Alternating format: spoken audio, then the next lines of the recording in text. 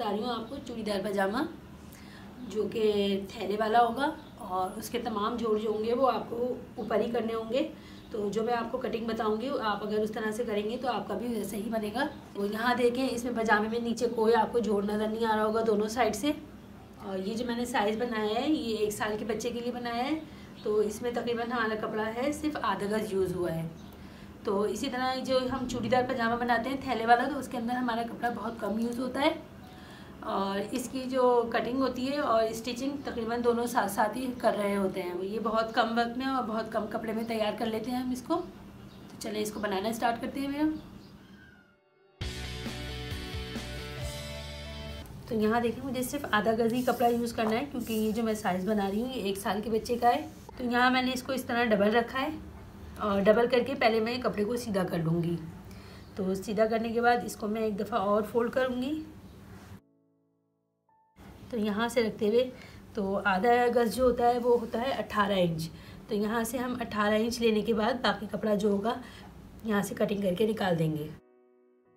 ये हम एक साल के बच्चे के बना रहे हैं तो इसके अंदर होता ये है साइज़ के अंदर जितना हमारा हिप्स का एरिया होता है, उतनी और उसके अंदर जो हमारा पाँचा होता है, वो दोनों को प्लस करते हैं और फिर उसकी हम चौड़ाई रखते हैं। तो यहाँ हमें छोटे बच्चे के लिए बनाना है तो इसके लिए हमें इतना ज़्यादा करने की ज़रूरत नहीं पड़ेगी। जब कभी मैं आपको बड़ा पजामा बताऊँगी तो उसके अंदर मैं और आपको अच्छी तरीके से बता दूँगी। तो पहले हम यहाँ से कपड़े को इस तरह सीधा कर लेंगे। तो अब यहाँ अट्ठारह इंच पे इस तरह हम निशान लगाएँगे और यहाँ पे सीधी लाइन डाल लेंगे।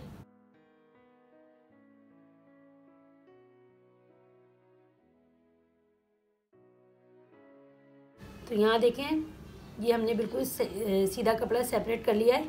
अब मैं इसको यहाँ पे इस तरह डबल करूँगी। और इस तरह डबल करते हुए इसके यहाँ पे सिलाई लगा लूँगी इसमें।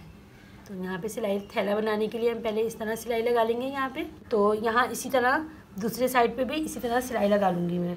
तो इसको भी यहाँ पे इस तरह सिलाई लगा के बंद कर लूँगी और इसको भी, यानी दोनों साइड इसके सिलाई लगा के बंद कर लेंगे हम।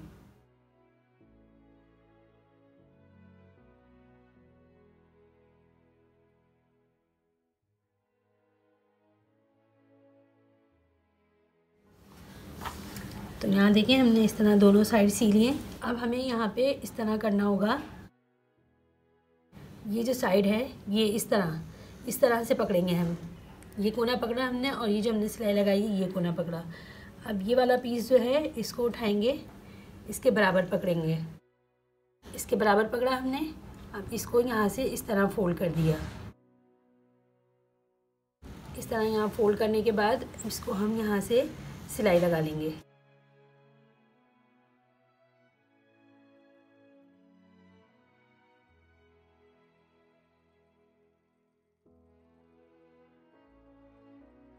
तो ये देखें सिलाइयाँ लगने के बाद ये हमारा कुछ इस तरह से तैयार हुआ है।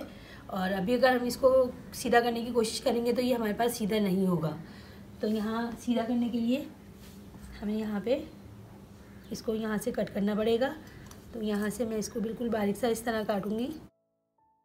और इसके दूसरे साइड से भी जहाँ सिलाई लगी है, बिल्कुल इसके यहाँ से। बस मुझे इतना काटना है कि यहाँ से कैंची की नोक जो है वो अंदर चली जाए। ये देखें, इसको हम यहाँ पे इस तरह सीधा रखेंगे। अब ये तकरीबन पूरा कपड़ा हमारा ऑरेब हो गया है। अगर हम इसको जिस तरह जिस पोजीशन में करना चाहेंगे तो ये खिंचता चला जाएगा हमारे पास। तो हमें इसको खींचना नहीं है, बिल्कुल आराम से रखना है। और पहले इसके यहाँ से इसके मुँह को खोल लेना है। इसी तरह से जिस तरह हमने यहाँ से खोला है, इसी तरह से यहाँ से भी हम इसको खोल लेंगे।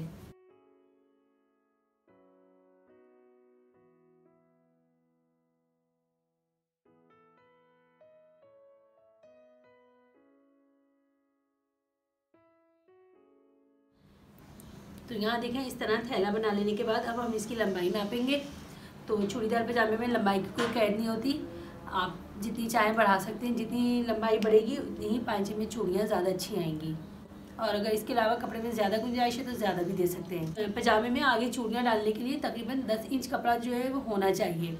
अगर इससे कम है तो भी चलेगा, अगर इससे ज़्यादा होगा तो ज़्यादा अच्छी चूड़ियाँ आ जाएँगी। यहाँ से हम पाँचा नापेंगे। तो पाँचा रखूँगी मैं यहाँ पर साढ़े चार इंच। और यहाँ से ये वाला जो साइड होगा, ये हमारा दूसरे पाँचे का आसन वाला साइड होगा इसमें। तो यहाँ से हम रखेंगे, दस इंच आसन रखेंगे और यहाँ बिल्कुल सीधी लाइन डाल लेंगे तो इस तरह यहाँ हमने एक पाइचे का और आसन का निशान लगाया। इसी तरह अब यहाँ पे हम दूसरे साइड पे लगाएँगे। तो दूसरा वाला हमें यहाँ से निकालना होगा। तो यहाँ पे साढ़े चार इंच पे इस तरह निशान लगाऊँगी। और इसी तरह यहाँ पे आसन का निशान लगा लेंगे हम। तो इसका जो आसन का होगा वो इस साइड से होगा। तो यहाँ पे दस इंच पे इस तरह आसन का निशान लगाया हमने।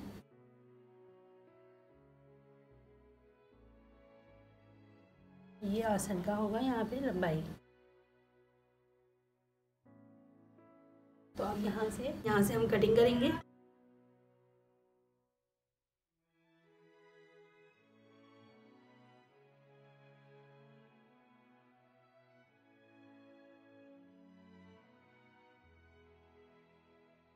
तो ये हमारा एक साइड हो गया है। अब हम यहाँ पे इसको इस तरह इसके साथ रखेंगे। और ये वाला जो एक्स्ट्रा पीस निकल रहा है, इसको हम यहाँ से कटिंग करके निकाल देंगे। तो इस तरह देखें, ये हमने थैले वाले आड़े पजामे की कटिंग करी है, जिसके अंदर हमने यहाँ पाँचों में जोड़ नहीं दिया है, सिर्फ़ ऊपर। तो देखिए मैंने आज आपको आड़ा पजामा थैले वाला बनाना बताया है। जो कि बहुत ही कम कपड़े में तैयार कर लेते हैं हम। तो इसको बनाने का तरीका बहुत ही आसान है। तो देखें, जिस तरह मैंने ये थैला बनाया और इसके तमाम जोड़ जो हैं वो मैंने ऊपर की साइड पे रखे हैं। क्योंकि नीचे जोड़ आए हुए बुरे लगते हैं तो यहाँ ऊपर अगर आ जाते हैं तो ऊपर इतना महसूस नहीं होता है और फिर वो कमीज़ या फ्रॉक से भी ढक जाते हैं। तो ये देखें, हमने कितना आसान तरीका बताया है आपको बनाना। तो चलें हम इसकी फिर स्टिचिंग स्टार्ट करते हैं। तो सबसे पहले हम यहाँ पे इसको इस तरह रखेंगे एक दूसरे पे और यहाँ से आसन की सिलाई लगा लेंगे इसकी। तो यहाँ से हम इसमें आसन की सिलाई लगा लेते हैं और यहाँ पे हमें नेफा बनाने के लिए थोड़ा सा हम इसको छोड़ देंगे। यानी कि एक इंच का हम यहाँ पर गैप दे देंगे ताकि इसके अंदर लास्टिक आराम से चली जाए। तो यहाँ पे देखें, इसके अंदर वेस्टिंग कटिंग जो है, बिल्कुल भी नहीं निकलती है। सिर्फ़ ये इतना सा पीस निकलता है, आप किसी भी साइज़ का यहाँ पे पजामा कटिंग करेंगे तो उसके अंदर बिल्कुल इसी तरह का पीस निकलेगा कटिंग में। इसके अलावा और इसमें कहीं से कोई कपड़ा नहीं निकलता है।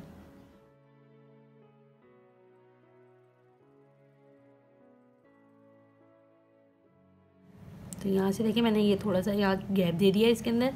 अब मैं इसको इस तरह रखूँगी।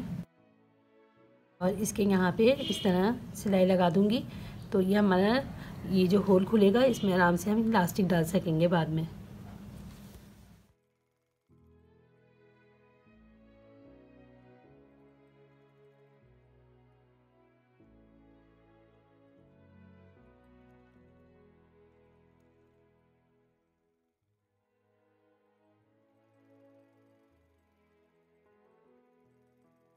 तो यहाँ देखें, हमने इस तरह आसन की सिलाइयाँ लगा ली हैं और साथ ही जिस तरह मैंने बताया आपको यहाँ पे नेफा बना बनाने के लिए, ये भी थोड़ा सा छोड़ दिया है ताकि यहाँ से लास्टिक इसमें आराम से चली जाए।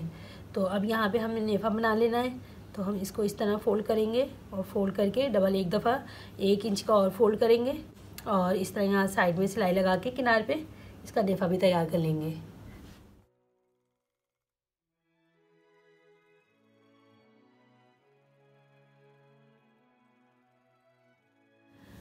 तो यहाँ देखें, इस तरह नेफा तैयार कर लिया है हमने, मोड़ के। अब यहाँ नीचे से मोड़ना होगा हमें।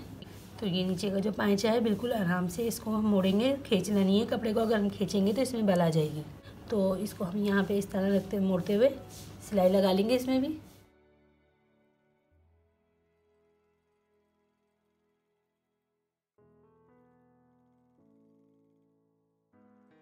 तो यहाँ से देखें, इस तरह हमने मोड़ लिया है पाँचे को नीचे से। तो ये दोनों पैंचों को मैंने मोड़ लिया है, तैयार कर लिए हैं दोनों पैंचे। तो अब हम यहाँ से इसको उल्टे करके इस तरह से फोल्ड करेंगे। और फोल्ड करने के बाद जितना हमें पैंचा रखना है तो हम यहाँ पे उतनी ही सिलाई लगा के इसमें इसको बंद कर देंगे। तो यहाँ मैं पैंचे की चौड़ाई रखूँगी तकरीबन साढ़े तीन इंच। साढ़े तीन इंच का फिर यहाँ से दबा के इसको सिलाई लगा लूँगी।